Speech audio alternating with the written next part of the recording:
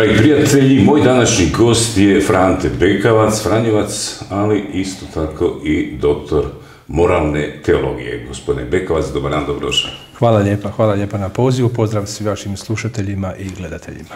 Odnedavno ste postali doktor moralne teologije. Doktorat je danas kod nas, uh, nažalost možda na jedan način uh, doživio jednu inflaciju, ima jako puno doktora. A zapravo svaki doktorat je jedan znanstveni rad. Tu čovjek nešto, nešto zapravo novo otkrije, krene u jednu, jednu materiju, obuhvati onako sa svih strana i onako jedno dvije, tri godine sustavno se to radi, proučava i dođe se do nekih novih zaključaka. Pa evo, vi ste napravili doktorat na temi morala. Da čujemo do kakvi ste vi spoznaja došli, što je moral. Pretpostavljam da je bila tema radna, barem radni naslov. Da, e, u petom mjesecu, 14. svibnja sam e, obranio doktorski rad na Katoličkom bogoslovnom fakultetu Sveučilišta u Zagrebu. Mentor mi je bio profesor dr. Tonči Matulić, prošilnik katedre moralne teologije. U svom doktorskom istraživanju, to je bio istraživački rad, bavio sam se jednom specifičnom temom, a tom temom sam se bavio već prije dugi niz godina, sada sam to usustavio u znanstveni rad.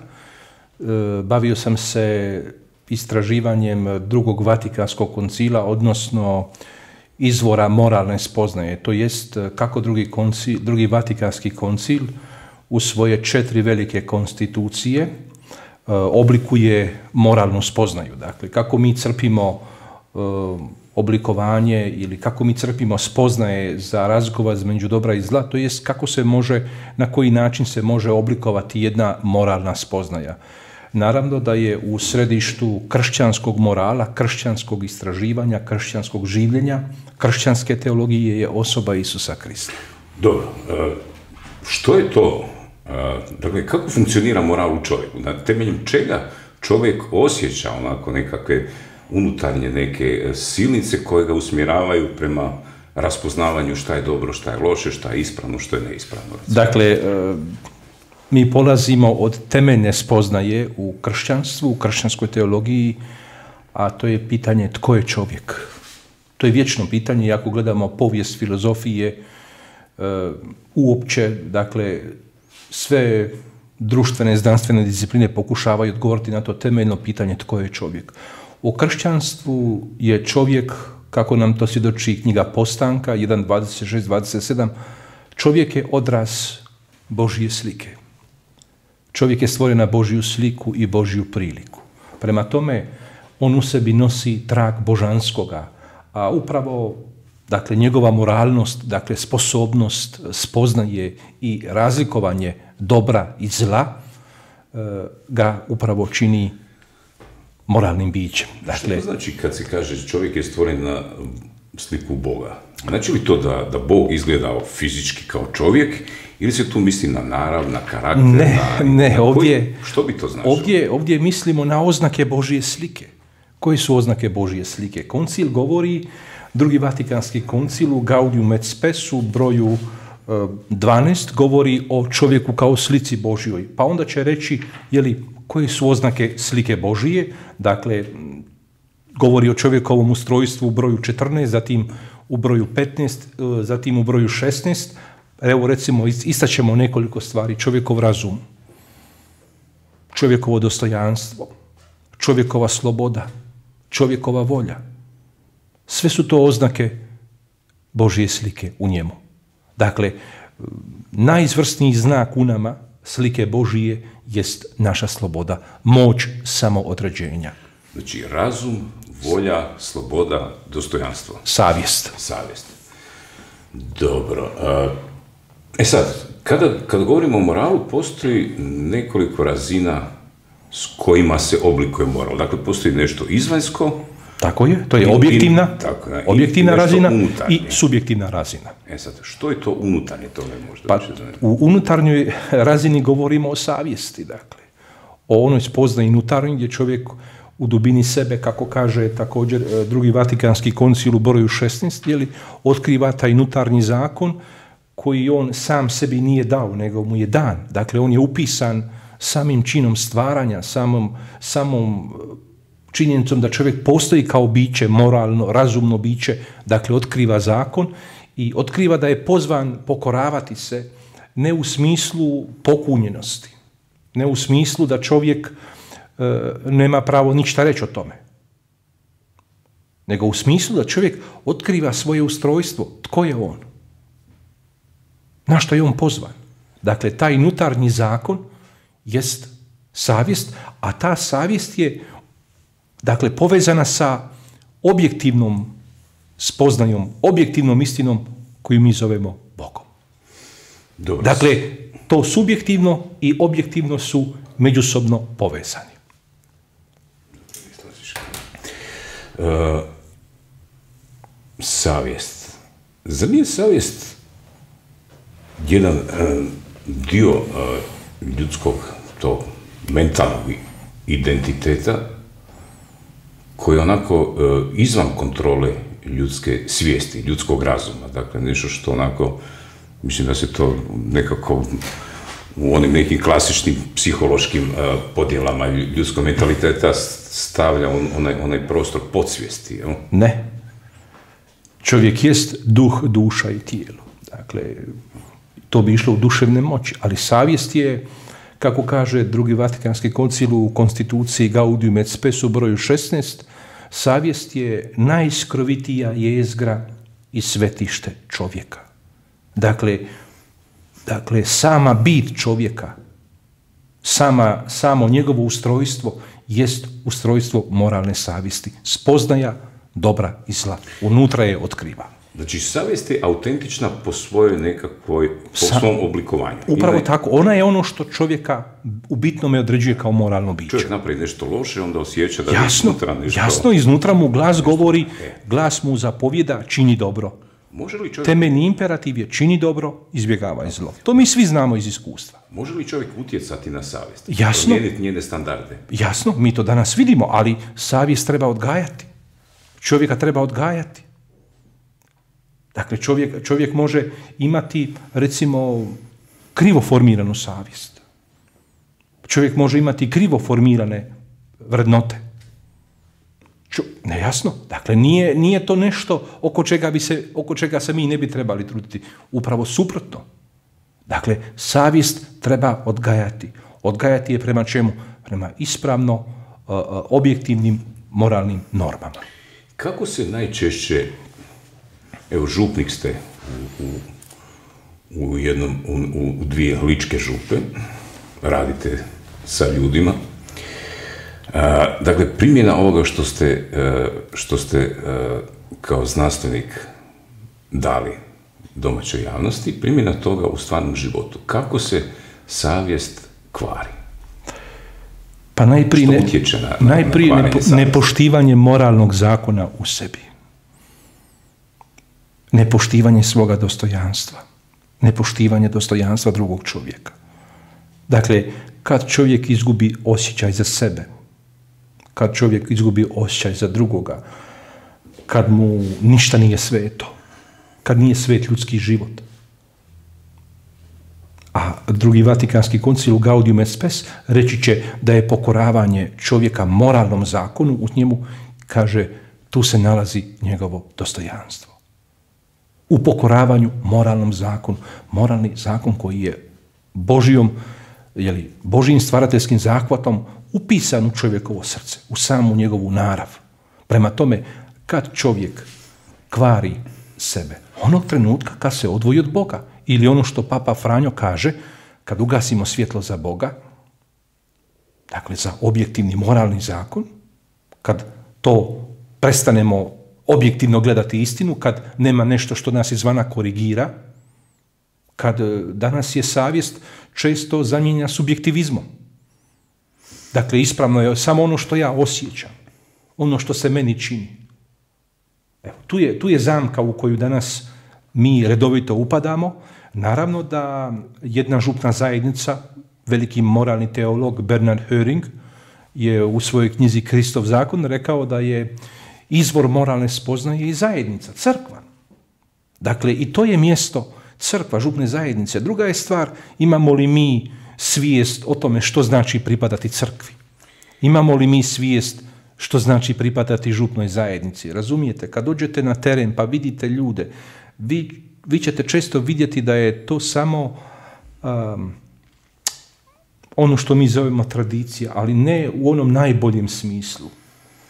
Da. Evo, to, je, to, su, to, su, to su duboka pitanja i ja, ja se nadam da e, ljudi, odnosno iskustvo mi do sada pokazuje u susredu s ljudima, čovjek u sebi ima osjećaj što je dobro, što je zlo. Čovjek u sebi ima osjećaj, on je stvoren da ljubi istinu, on je stvoren da traži istinu, on je stvoren da živi po istini. Pamtim iz svojih nekih mlađih dana, imao sam prilike razgovarati sa starim ljudima u ono doba koji su pamtili razdoblje još iz doba Austro-Ugarske. Pa su i znali pripovijedati kako, kako se puno manje psovalo, recimo tada. Kako su državni službenici, e, gotovo je bilo nemoguće, ili je to bilo jako rijetko, da, da, da recimo učitelj ili ne, zaposlenik u općini pristao na, na nek, primiti mito. Korupcija kao, kao, kao, jedna, kao jedno dijelo, ne da nije bilo nešto što se nije znalo, ali je bilo nešto što se jako rijetko događalo. Evo, danas kada vidimo kako funkcionira ovaj naš, ovaj naš državni sustav i kako funkcioniraju ljudi, kako su prihvatili neke stvari pod normalno, ne samo korupcija i to, nego cijeli niz neke druge stvari koje ulaze izravno u konflikt sa, sa moralnim načelima.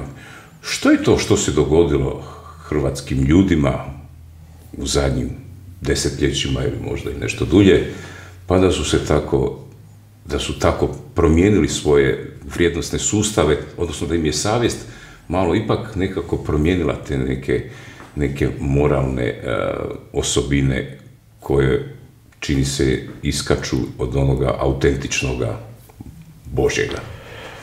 Ja mislim da velika većina ljudi osjeća što je ispravno. Ja vjerujem da velika većina ljudi želi živjeti čestito, pravedno, pošteno, dobronamjerno. Ali problem je u toj percepciji, problem je u toj slici koja se nama danas nameće. Problem je što nema sankcija. Nekada vam nije palo na pamet jeli, doći danas. Sad ću samo jedan banalan primjer. Evo, grafiti po gradu, grafiti po kućama, grafiti po fasadama i tako dalje. Vi nekada niste smjeli pristupiti tuđem posjedu, jer ste ga poštivali kao tuđega. Danas, danas je čovjek u sebi razorio sve moralne norme, razorio je sve osjećaje. A zašto? Duhovno je korumpiran. Jer misli da mu ne treba Bog. Misli da mu Bog nema što reći, da mu crkva nema što reći, nigdje ne pripada. Duhovno se, tako reći, iselio, duhovno se iščešio. I onda je pitanje, a dobro, što će ga usmjeravati? Egoizam? Što će ga usmjeravati? E, duhovna nezrelost? Vi imate ljudi koji su, koji su, pa recimo to tako, na visokim položajima. Jesu li oni duhovno dozreli takvu, takvoj poziciji?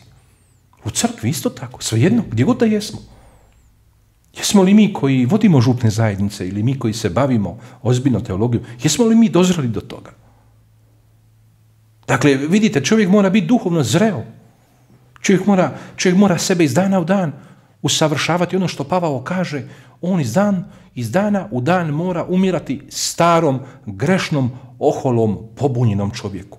On mora svakoga dana rasti novome čovjeku Isusu Kristu. Dakle, to je taj ali naravno kad čovjek to zaboravi, što se događa? Papa Franjo nas upozorava stalno na tu duhovnu korupciju. Dakle, zbogom ćemo se mi nekako dogovoriti, zbogom mi mislimo, pa proći ćemo mi nekako kroz neke iglene ušice. Isus kaže da ćemo za svaku jotu odgovarati koju smo izrekli. Čak i ako smo nekoga nazvali luđače. Ako smo svome bratu ili svojoj sestri rekli, zato ćemo odgovarati. Za svaku jotu. Prema tome, mislim da je danas e, E, problem je ta slika, problem je ta antropologija koja se iščešila, problem je što se nameće jedna kriva slika života, kriva slika vrijednosti, gdje ne morate zašta, nemate, e, ne morate raditi, ne morate se mučiti, ne morate se žrtvovati i tako dalje. Ne? Znači ti vanjski utjecaj utječu na oblikovanje morala. Odnosno ne, ne, utječu na čovjeka, utječu mediji koji mu svaki dan slike serviraju, svaki dan, evo kad ste, banalna stvar,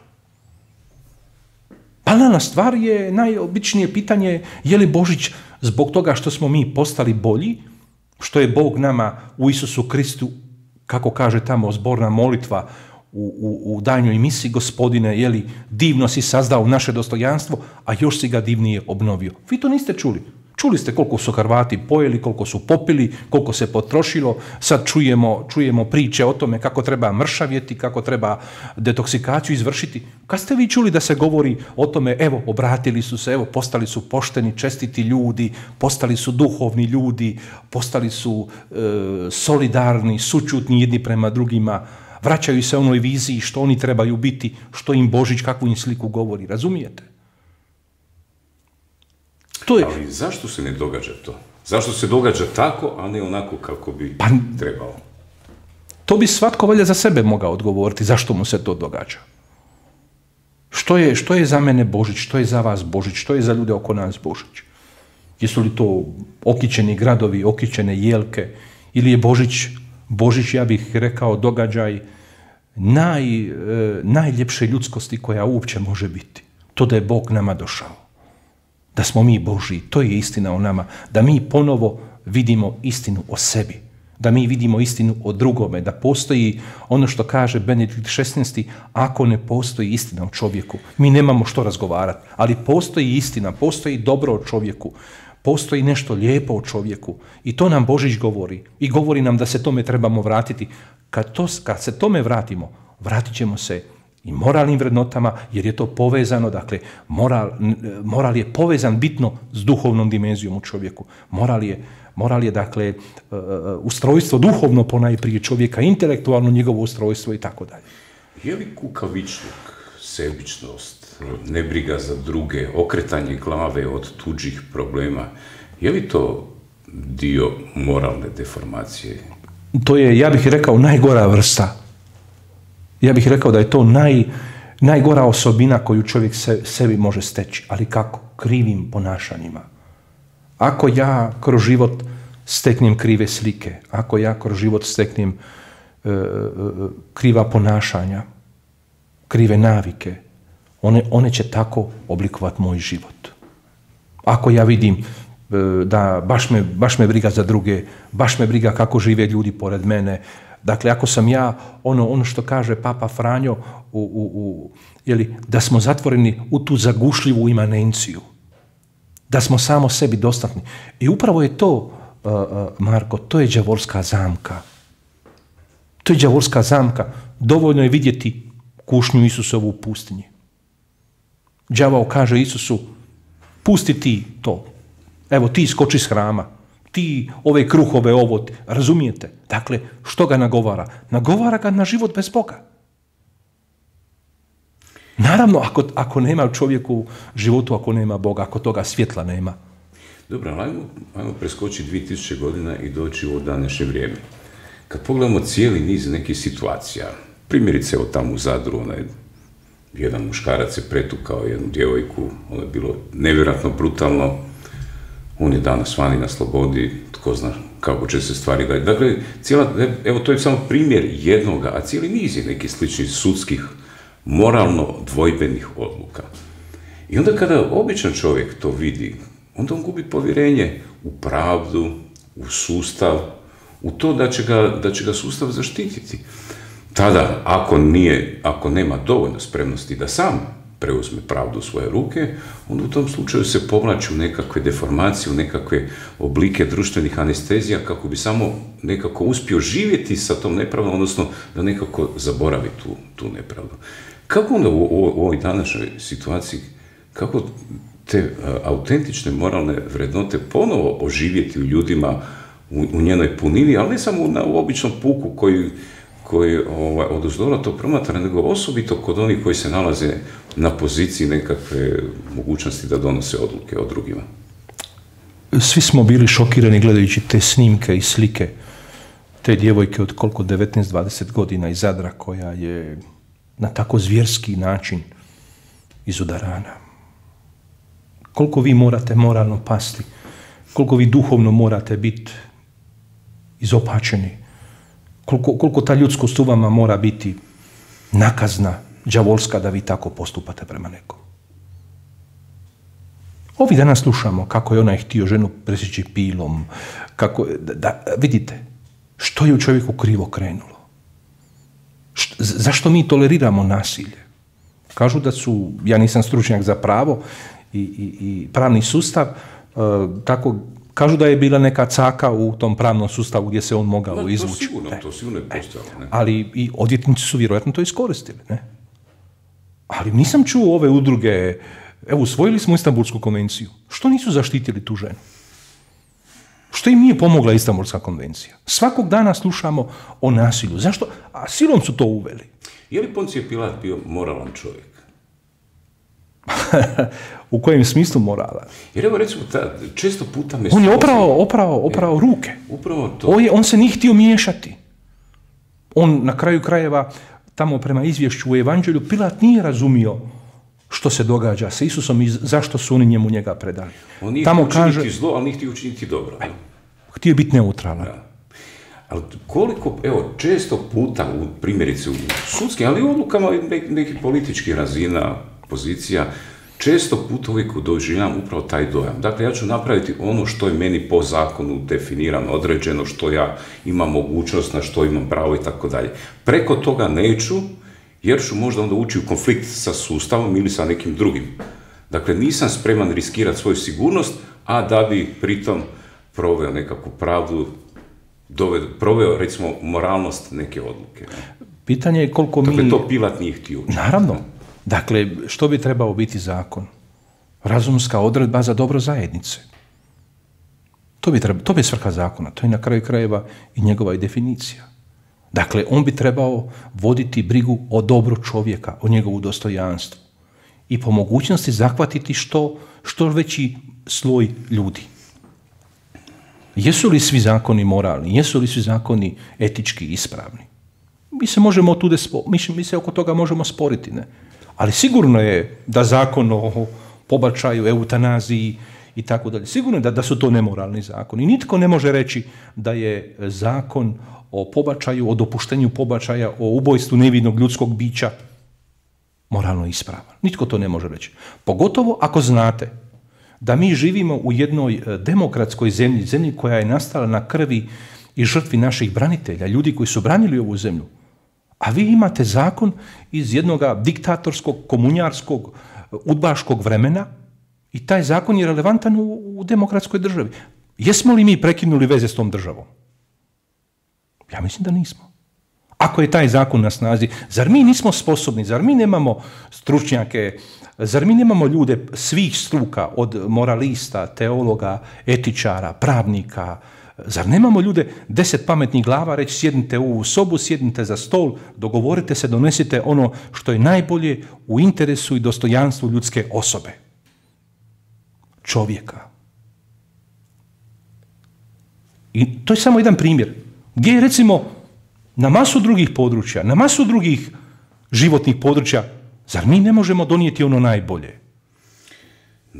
To su, razumijete, to su ta pitanja o kojima mi trebamo, dakle, jesu li ljudi koji nas predstavljaju, jesu li oni dorasli tome da oni donose dobre zakone, ako vidite da, e, ne znam, zakon se izglasava i oni se pojave samo kad se zakon izglasava. Nema ih na raspravi, nema ih, ne znam, nija i takve stvari. Onda se pitate, banalno se pitate, nameće vam se pitanje, pa ljudi moji, kam ovo vodi?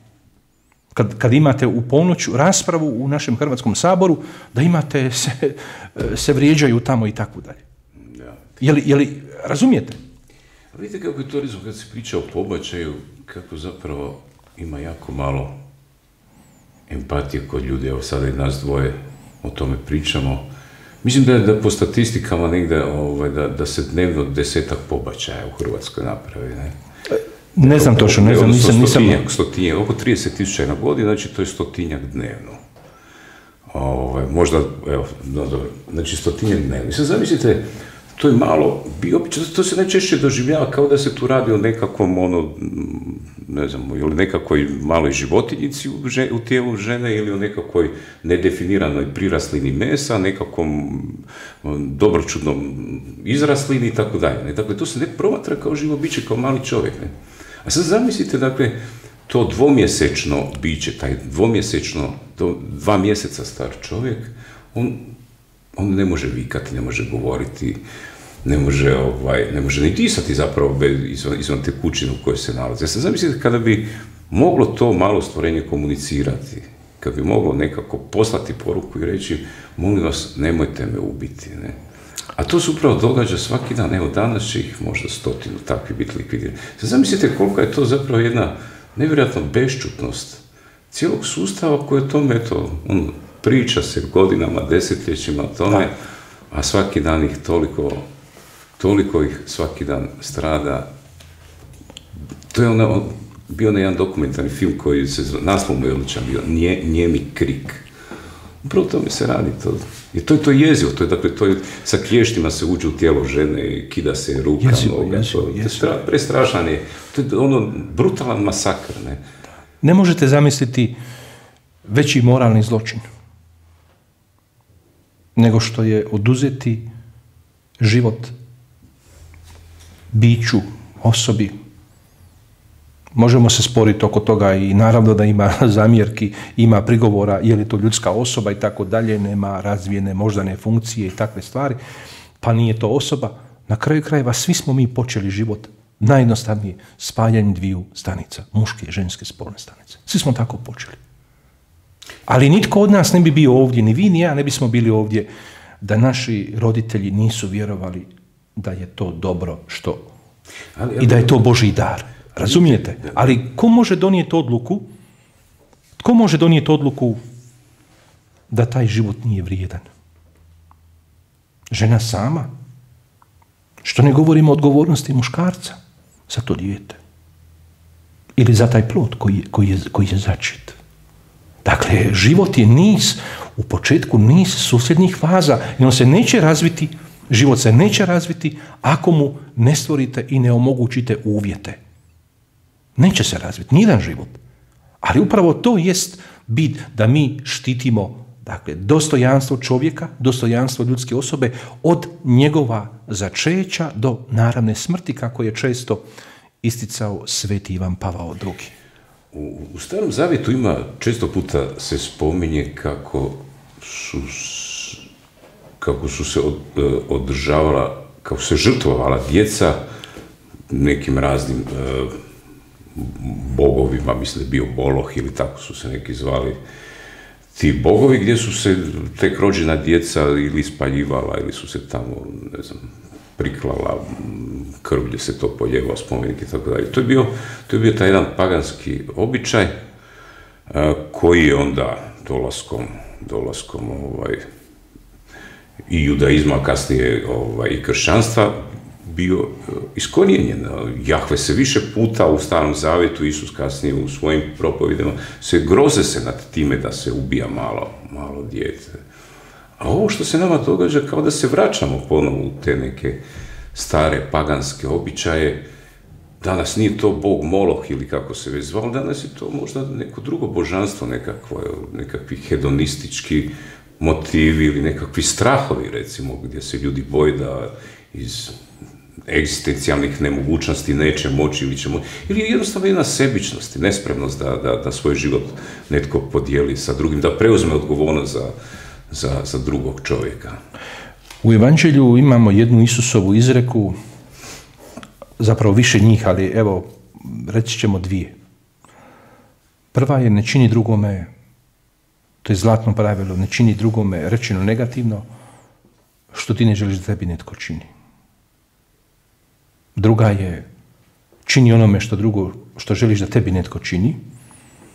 I treća, a ona je zapravo suukus ove dvije, ona je, rekli bismo, e, e, e, jedno zlatno pravilo kojega bi se čovjek trebao držati, a to je da nema nitko veće ljubavi, nema nitko veće žrtve od onoga tko daje život za bližnjega, za čovjeka. Pa makar taj čovjek počeo kao stanica, jeli, fetus, embri, pa onda kasnije, jeli, novorođenče i tako dalje. Dijete, mladić, djevojka, zreo čovjek, starac, starica. Kako smo mi došli da smo mi izgubili taj pogled na čovjeka? Da je čovjek najdragocini, da je čovjek kruna Božijeg stvaranja u cijelom svemiru. Mi se danas divimo svemiru, divimo se prostranstvima, divimo se kako je to sve čudesno, istražujemo to, trošimo milijarde, milijarde trošimo na istraživanje i projekta svemira. A čovjek, ljudska osoba, njegovo dostojanstvo, e vidite, kad gledate upravo to, sve to pismo i te prakse koje su bile, bile su okrutne prakse. Ljudi su mislili da na taj način služe svojim bogovima. A kakvi su to bogovi? Kakav je to bog koji bi tražio da vi ubijete ljudski život? Ali, znate što je još zanimljivo, recimo, u tim, tim slikama iz Starog Zavjeta, kada su pa, pa i židovski narod je u svojim pojedinim fazama znao ulaziti u taj prostor krivovjerstvo tog, dakle, štovanja Iznevjerili su se Božijim zapovjedima. Isus je rekao da su napustili Božju zapovjed. To stoji u evanđelju, kad ih je prekoravao. Da, u tim razvojima kada bi i židovski narod počeo štovati te aštarte, balove i tako dalje, onda su redovito se događale teške nesreće. Naravno. Stradavali su. Ili su odlazili u, u ili su bili napadani, osvajani, pljačkani, ubijani, odvedeni u ropstvo i tako dalje. Zar se, isti taj, ako bi recimo Stari Zavjet promatrali kao jednu sociološku formu u šprancu, ne, zar ne bi to mogli primijeniti na ovo današnje vrijeme? Pa onda vidjeti da ako hrvatski narod dozvoljava u svom prostoru da se legalno radi na, o državnom trošku, dakle o, trošku novca svi u nas koji to financiramo, zar ne bi trebalo, zar, ne bi trebalo jasno reći, pretpostavljam sa pozicije nekoga tko ima autoritet teološkog tumača, da ne kažem proroka, pa da kaže ljudi moji, hrvatski narod ne može ništa dobro očekivati u svojoj sadašnjosti ako svaki dan prinosi žrtve nekakvom bogu hedonizma, komoditeta, sebičnosti i tako dalje. Točno, evo, to je bit. Ne možemo mi očekivati dobro. Mi govorimo svi o budućnosti. Evo, za novu godinu ćemo željeti jedno drugima dobro, željet ćemo najbolje. Je li tako? Božićne želje smo izrekli. Pokojni profesor Bajsić je rekao, a što ako mislimo ozbiljno? Što znači izreći dobro čovjeku, dobre želje, dobre nade? Ma ne može biti budućnosti tamo gdje je sadašnjost loša i grešna. Gdje je ona neodgovorna, moralno zlo. Ne može biti. Dakle, krivo je misliti i nažalost često nam se servira takva slika budućnosti kao da bi ona bila tamo negdje iza oblaka, iza neke planine i ona će, ona će nama doći, a mi je samo trebamo prigrliti. Što je besmislica. Pa valjda se budućnost, valjda se budućnost rađa iz sadašnjosti. To kako se čovjek odnosi danas, kako se odnosi prema sebi, kako se odnosi prema svome bližnjemu, kako se odnosi prema članovima svoje zajednice, svoga naroda, istoga se rađa njegova budućnost. Dakle, tu mu je budućnost. Ona nije negdje u oblacima. Ona je, Bogu je stavio u naše ruke, u našu slobodu, u našu odluku. I mi trebamo poštivati sebe. Kolika je u cijeloj toj priči odgovornost crkve kao institucije koja se bavi tumačenjem tih zakonitosti iz tog jednog duhovnog prostora, koja je, dakle, ima to svoje poslanje uz ostalu da i taj, jer i taj moralni zakon je preslika tog duhovnog vrijednostnog sustava Božeg svijeta. Kolika je odgovornost, dakle, crkve da, da to, da se angažirano zauzme za to, s jedne strane, a kolika je stvarna moć crkve da, da, da nešto u tom pravcu zaista i promijeni? Benedikt 16. je na jednom mjestu rekao, mislim u tamo Caritas Veritatem, je rekao crkva nema tehnička rješenja. Ali crkva drži čovjeka budnim na spomen Boga. To je poslanje crkve, da ga, da ga drži budnim i podsjeća ga tko je on. Tko je čovjek? Čovjek je Božja slika. I on tako treba postupati. Sigurno da je to velika odgovornost crkve i znamo u, vremenima e, e, e, zločinačkog režima, komunizma, znamo koja je nemjerljiva uloga crkve bila. Znamo koliko je crkva dala žrtava ubijenih svećenika, redovnika, časnih sestara i tako dalje. Koje su žrtve preko šestotina za koje nitko nikada nije odgovarao. Crkva bi danas trebala se otvoriti i drugi Vatikanski koncil je imao tu namjeru crkvu otvoriti svijetu i da crkva pomogne svijetu, da mu pomogne u smislu da bude dobar, da bude ispravan, da bude čestit, da bude dobronamjeran, da se brine za ljudsku osobu, da se e, ne zatvara u tu samodostatnu imanenciju, da se ne vodi samo logikom profita i tržišta i novca, nego da postoji nešto iznad toga, a to je ljudska osoba, ljudsko dostojanstvo i da smo mi kao crkva i, i, i vjernici i nevjernici smo upravo pozvani svi zajedno surađivati, e, voditi dijalog, razgovarati, ne etiketirati jedni druge. Nažalost, danas kad crkva progovori o nekim temama, čujemo, evo, crkva se mora vratiti u sakristiju, vjeronauk se mora vratiti u, u sakristije, u crkvene prostore i takve stvari. Dobro, to je glupost. E. Ali, evo recimo, prije, ne znam, to deseta godina bilo, kad bio onaj referendum uh, o, o, radu nedeljom, da se zabrani rad nedeljom, crkva je tu sudjelovala aktivno, još neke udruge su tu zajedno organizirale. Uh, međutim, kako to da, da, evo sad traje recimo rasprava o tom zakonu, novi zakon o pobačaju, možda će kroz 3-4 mjeseca biti neka konačna forma tog zakona. Kako to da crkva ne osjeti potrebu da se angažira oko toga, pa da recimo pokrene referendum protiv pobačaja, na primjer?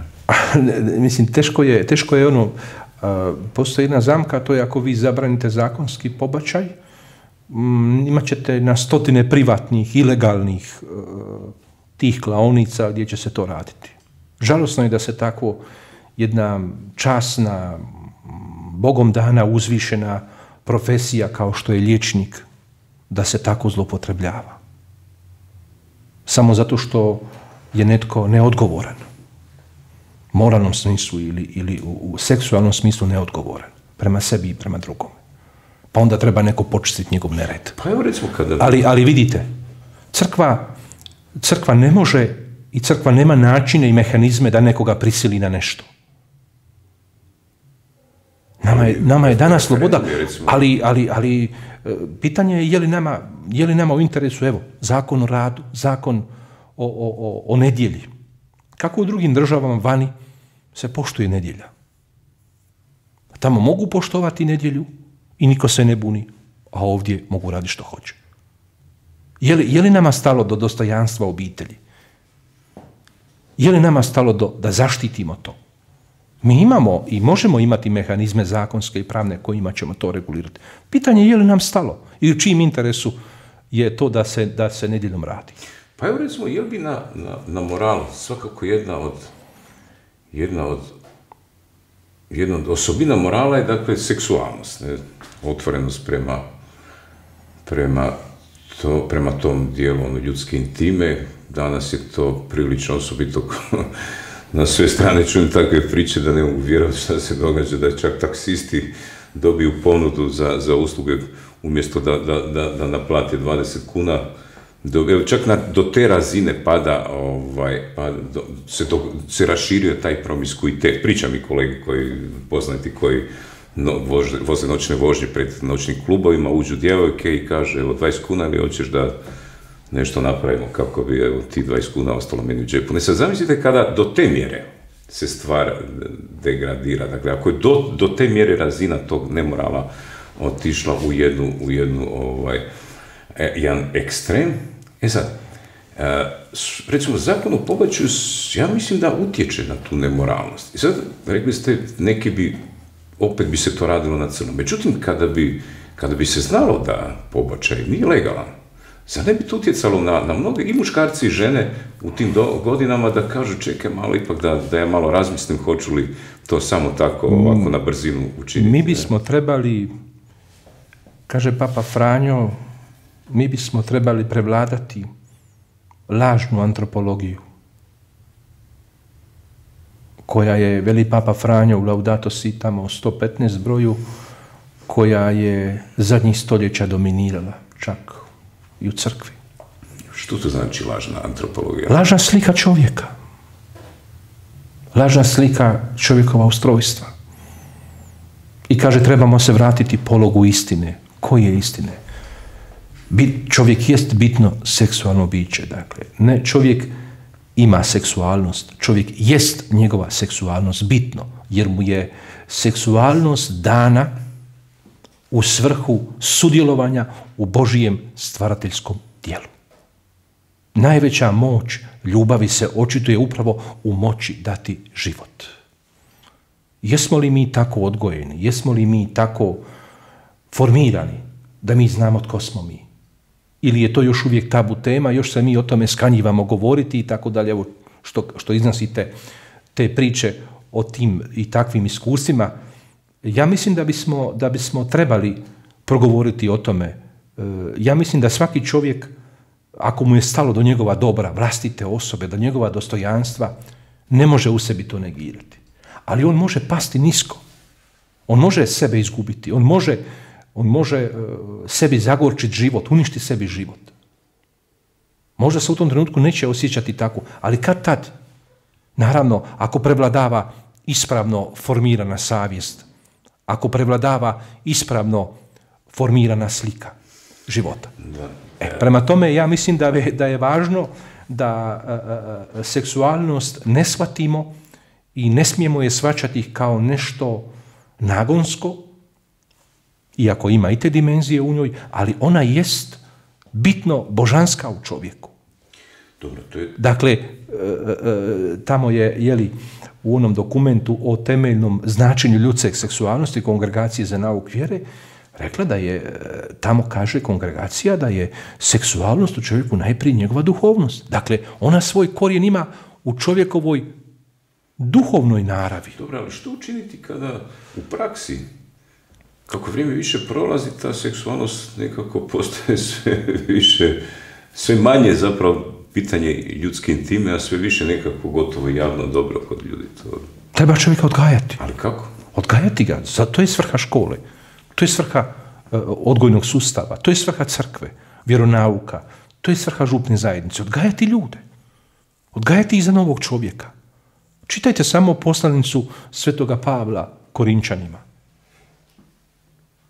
Pa ćete vidjeti ako znate što je Korin bio u to vrijeme. Grad razvrata. zašto je baš Pavao tamo napisao hvalospjev ljubavi?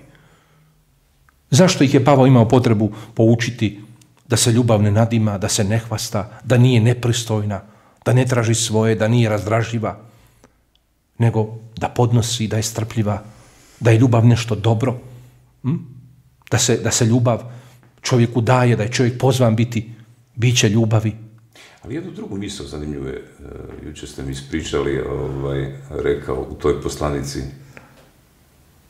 da, se? Da, ono o čovjeku da, da, da ovoga, e, da ljudi neće podnositi zdrava nauka, je li? Da. Evo, to, to smo danas mi, mi smo danas... Što se više kvare, ne želi podnositi, Jasno, čitajte, čitajte, evo, dovoljno je, dovoljno vidjeti, e, recimo, poslanicu, drugu poslanicu Korinčanima tamo.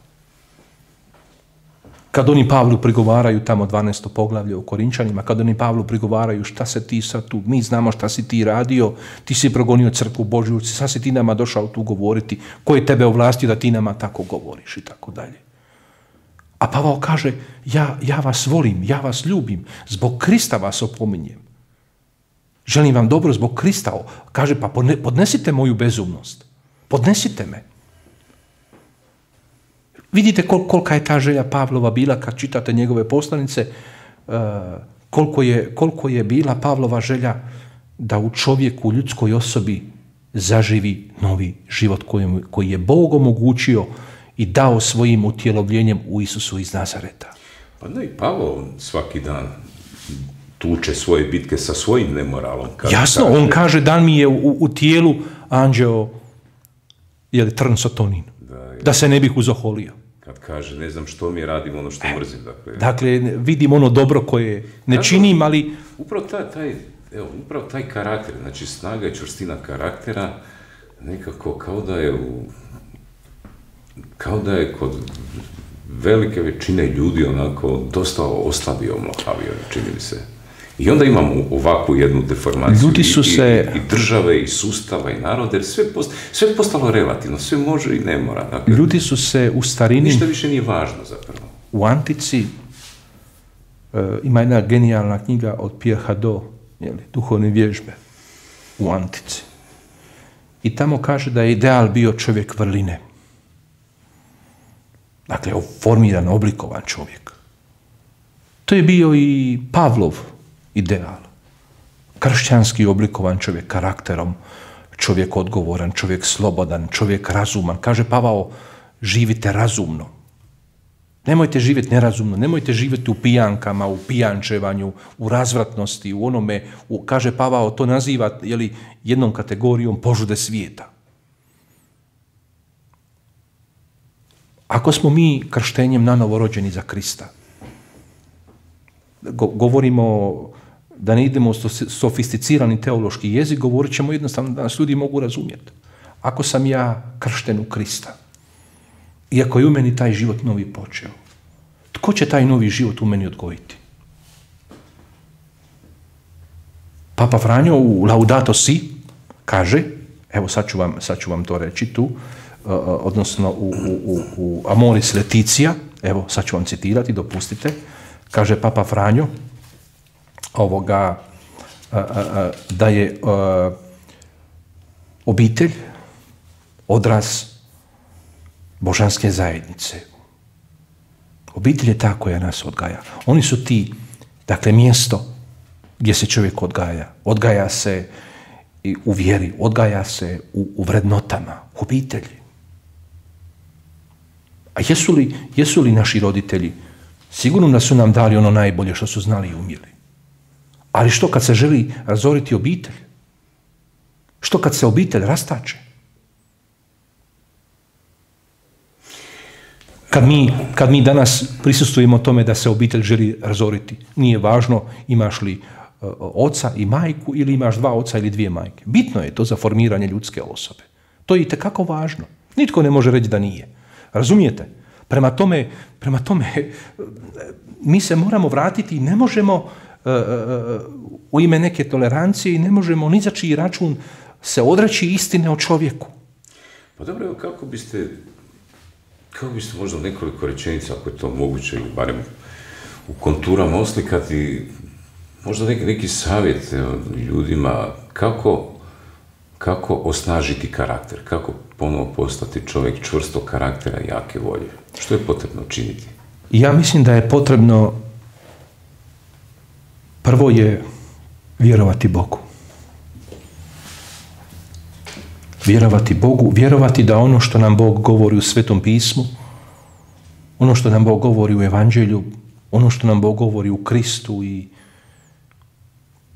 je dobro za čovjeka.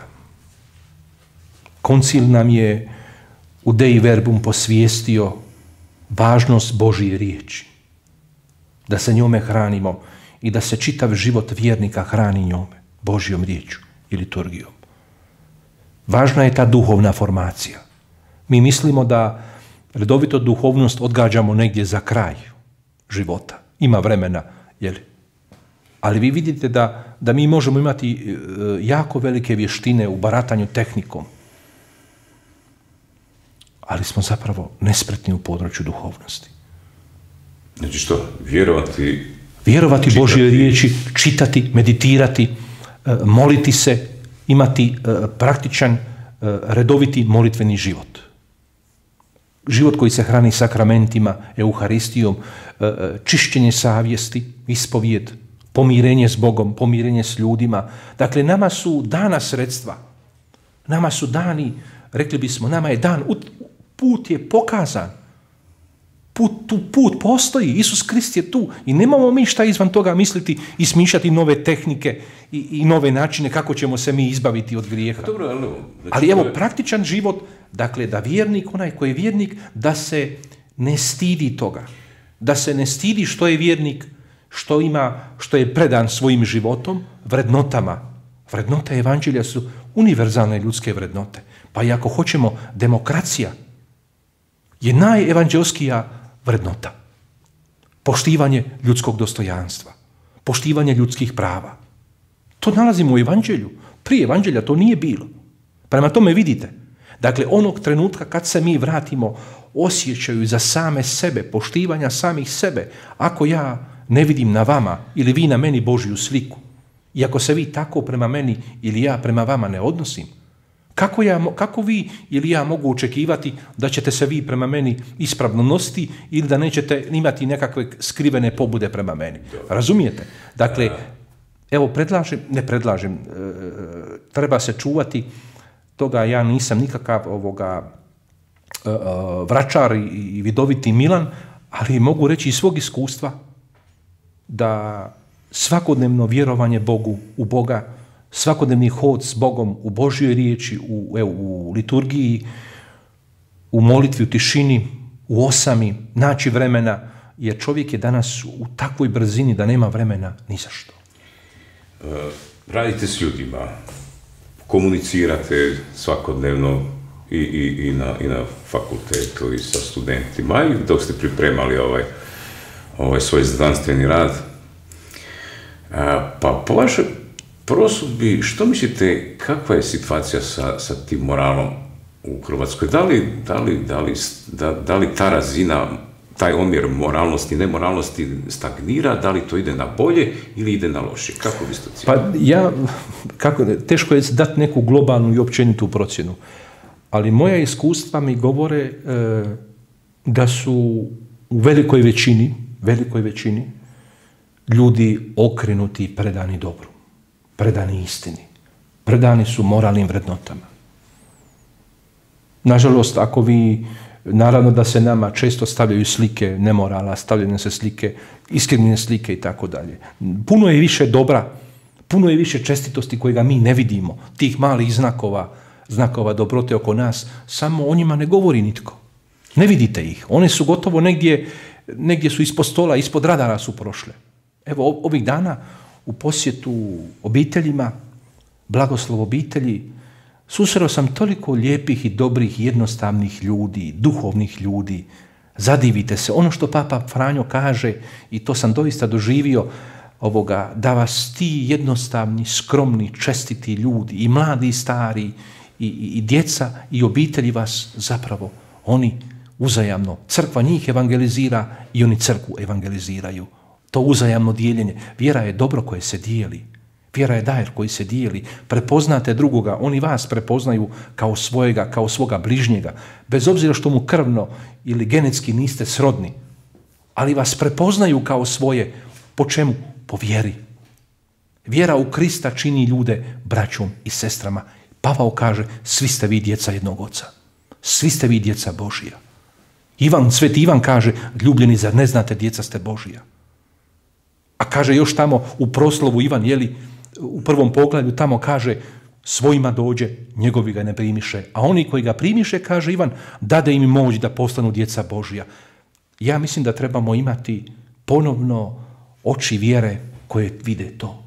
Da smo mi međusobno prijatelji Boži, to je najveća kategorija i duhovna i moralna prijateljstvo u vjeri, dakle prijateljstvo s Bogom i naše međusobno prijateljstvo. Mislim da na tim vrednotama trebamo raditi, o njima trebamo govoriti.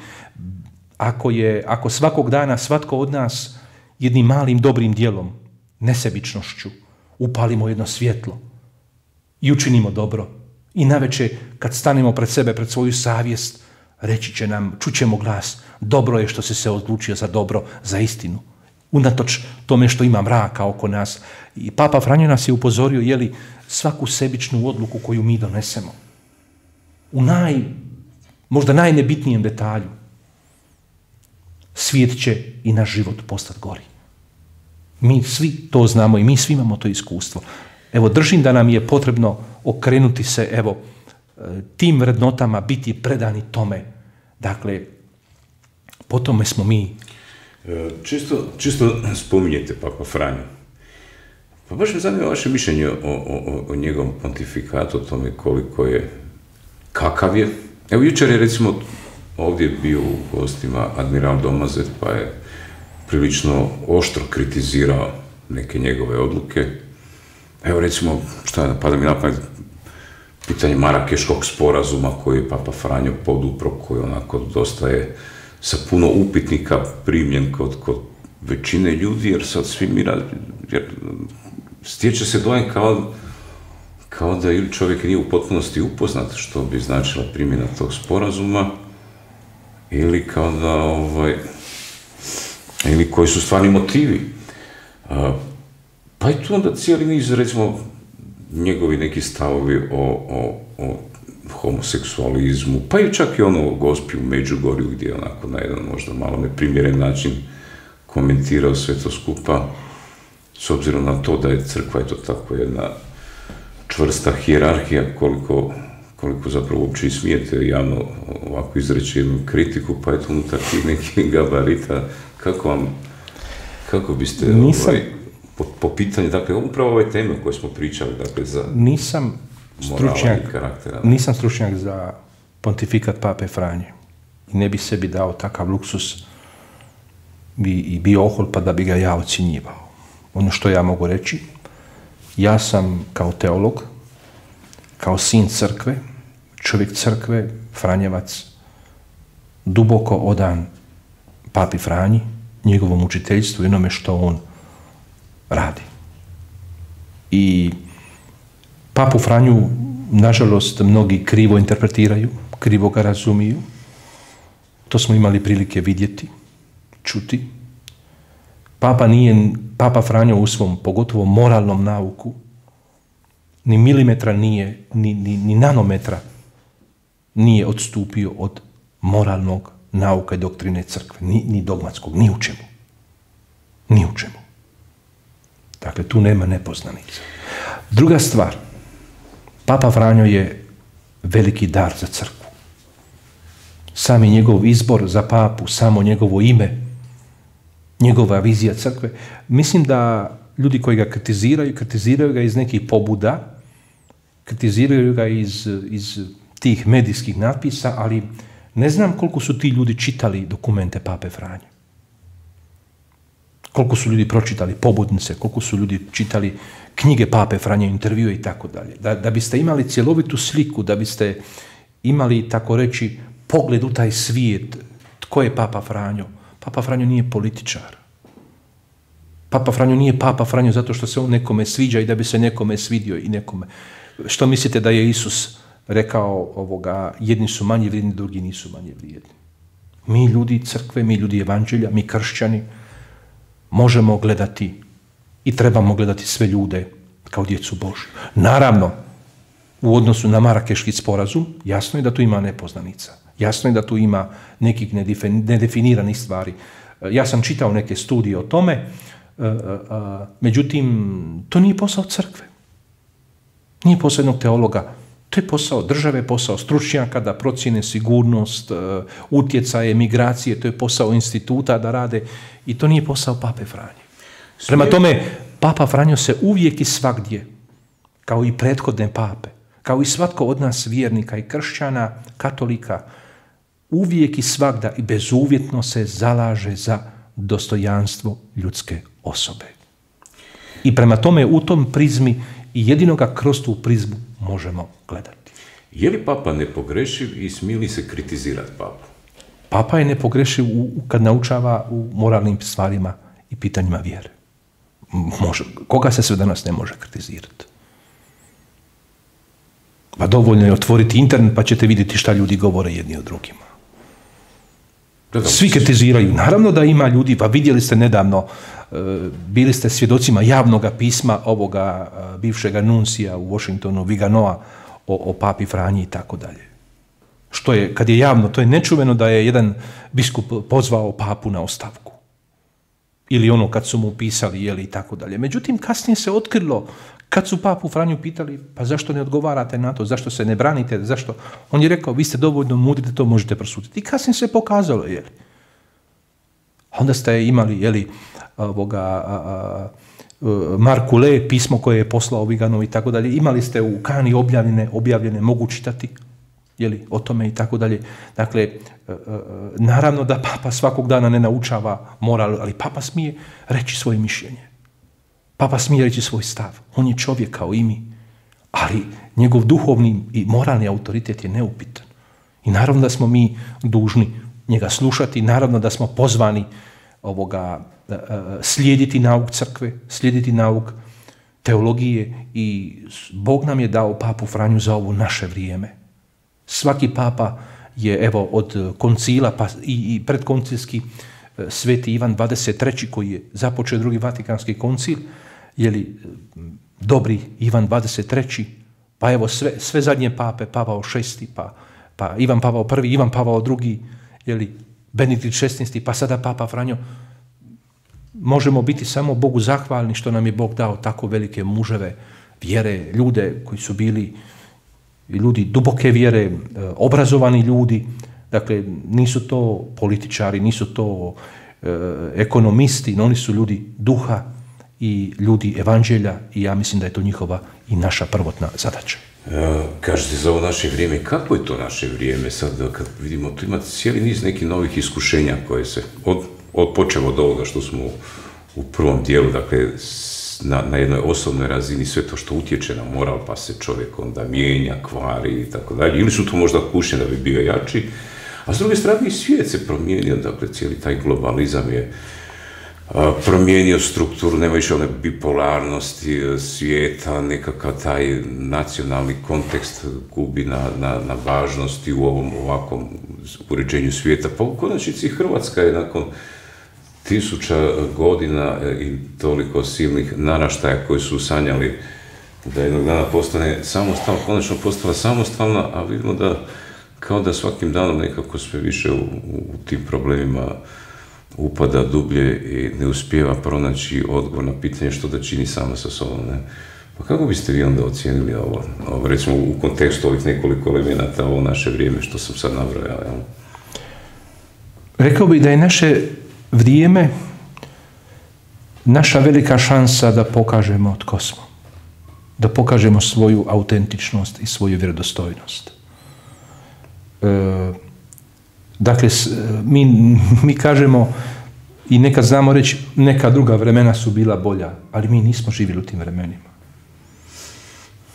Mi znamo iz povijesnih izvora i tako dalje dokumenata kakva su to u opisu drugih i tako dalje.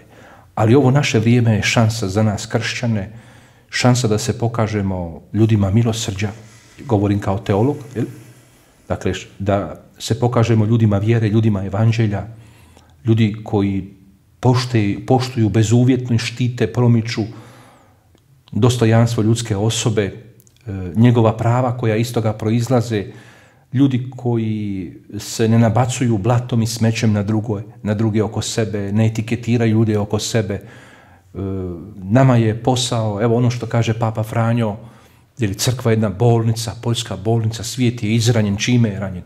Grijehom, ranjen je nevjerom, ranjen je ohološću, e, što hoće sagraditi babilonsku kulu, to jest grad. Hm, danas počinje graditi, jeli, e, možemo razumjeti atome, sve živo, ali na kraju krajeva mi ne možemo razumjeti jedni drugi.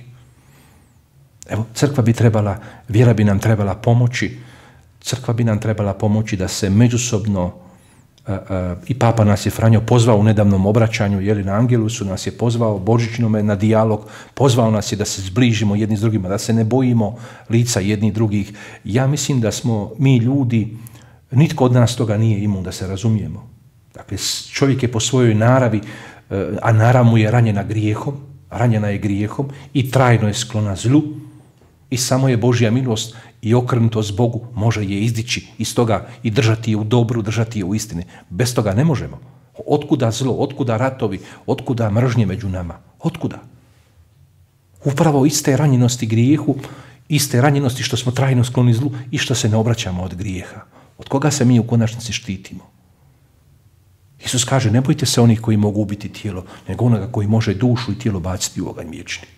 Da, zašto je Razumijete? Prema tome, prema tome vidite, trajno obraćenje naravi, onoga ljudskoga, onoga našega staroga čovjeka, mrtvoga čovjeka, onoga pobunjenog čovjeka, valja ga, evo, Bog nam je u Kristu omogućio da se vratimo novom čovjeku, novom Adamu, novo Evi, a to je Jeli? I, i, I kriz gospodin koji je došao u krilu djevice Marije, koja je nova Eva. Zašto je narav trajno okrenuta zlu? Što je ranjena grijehom. Grijeh ju je izranio. Evo, sad ću vam, sad ću vam ako dopustite, evo, a, a, a, donio sam tu ovoga drugi, dokumente drugog Vatikanskog koncila. Gledajte, kaže, drugi, kaže Gaudium et Spes u broju 13 govori o grijehu. Kaže, čovjek je od Boga sazdan u pravednosti. Dakle, čovjek je stvoren dobar. Stvoren je kakav? Svet. Dana mu je sloboda. Dana mu je slobodna volja. Možeš raspolagati svojim životom. To je slika Edenskog vrta. Ali kaže na poticaj zloga, zmija, hm? ti ćeš biti kao Bog.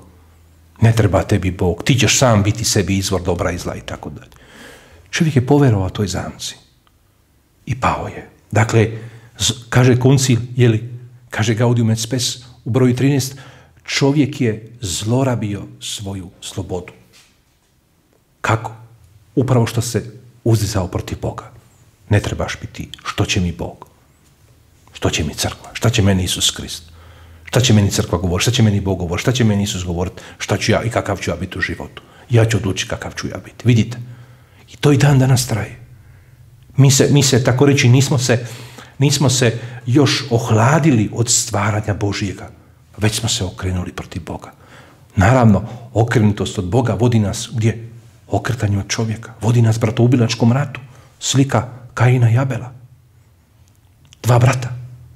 Jer zamračio se pogled. On ga više ne vidi kao dragocjeno Božije stvorenje, jer mu je narav ranjena grijehom.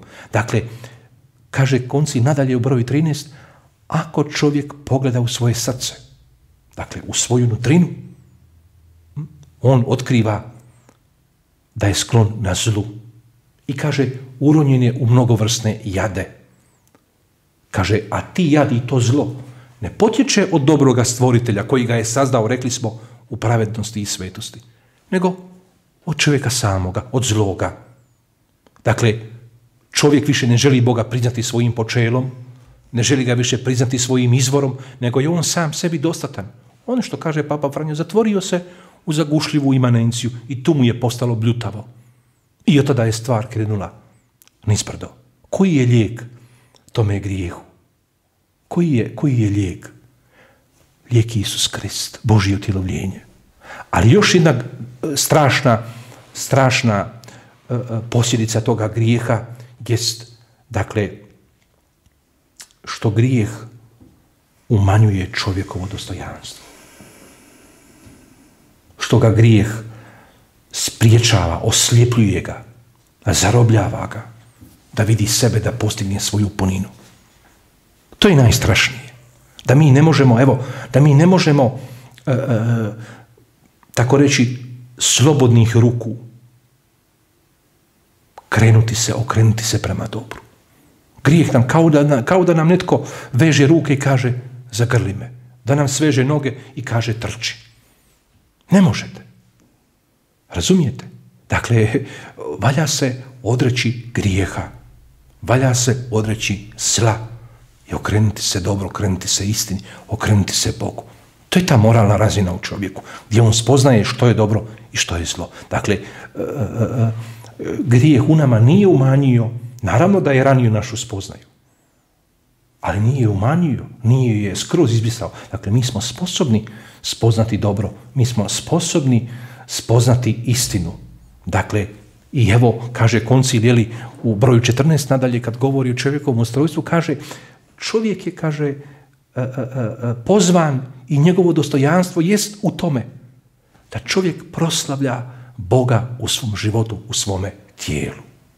I da mu to, taj život njegov, hm, pa njegova seksualnost, njegov rad, njegov posao, da mu to ne skluži za izopačenim sklonostima njegova srca. Vidite što to znači odricati se od grijeha, čupati te, te iglice otrovne koje, koje nam je grijeh ostavio.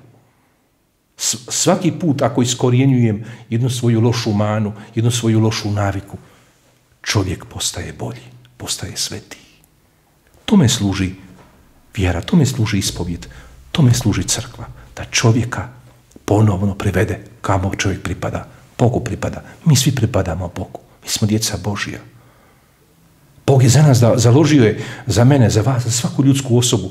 To nam govori Božićno vrijeme sada.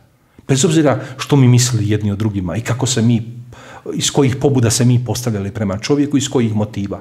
Ali u konačnici kad gledamo o tajstvo Božjega utjelovljenja, rođenja u Isusu Kristu, Marko, ma ne možemo ne skinuti te ljuske sa očiju i reći Bože, pa ti si zbog svakoga od nas. A, a naš je grijeh umanjuje nam to da vidim drugoga, da, da ga vidim u njegovoj istini, da ga vidim u punini. I da mu dopustim da on razvije u sebi svoje potencijale do svoje punine. Evo, treba se odreći grijeha i to je možda jedna od najstrašnijih posljedica što nas grijeh čini slijepima za Boga, slijepima za čovjeka. E, gospodine Bekovac, mislim da će ovaj razgovor ljudima biti najzanimljiviji drugoga siječnja, kada prođe ovaj, sve ove kušnje novogodišnjih ovaj, dočeka, kakvi već bili. Ovaj, pa nadam se da će ljudi to i, i prije i poslije ovaj, nove godine to, budu to sutra pustio, poslušati sa osobitom pozornošću na ovaj, ova vaša suptilna promišljenja tih više manje poznatih stvari, ali tek kada se uđe u, u dubinu svake od te pojedinačne i dogme ili neke misli, a svaka ona u sebi opet je onako poput luka ima cijeli niz nekih slojeva koje treba ovako e, skidati dio po dio pa da se dođe bliže istini. Istini, da. Kako bilo, hvala vam lijepo na gostovanju. Hvala vam na pozivu. Svako dobro u godini koja nam dolazi i nadam se da se vidimo opet kroz neko razdoblje. Evo, hvala vama, hvala na pozivu. Želim svim našim slušateljima, svim gledateljima čestit Božić, blagoslovljenu e, i, radosnu e, novu godinu, da se okrenemo onome dostojanstvu koje nam je Bog u Kristu pokazao, da se ohrabrimo, povjerovati u bolji svijet i činiti to svakodnevno u svojoj životnoj praksi tamo gdje jesmo, ono što kaže, jeli, koračati, sijući dobro oko sebe, plemenitost i zapravo tada će se svijet početi mijenjati od malih zrna, zrno po zrno, pogača ili tako. Nitko, ništa se preko noći nije dogodilo, ali male skrovite geste dobrote, ljubavi za čovjeka, za nas same, učinit će i naš život i ljude oko nas puno boljima. Dobro. E, evo, dragi prijatelji, to je bilo sve za danas. Dakle, pogledajte ovo još jedan put iza nove godine, možda sa malo više pozornosti. E, vidimo se ponovo za, neću reći za 24 sata, nego za sljedeće godine.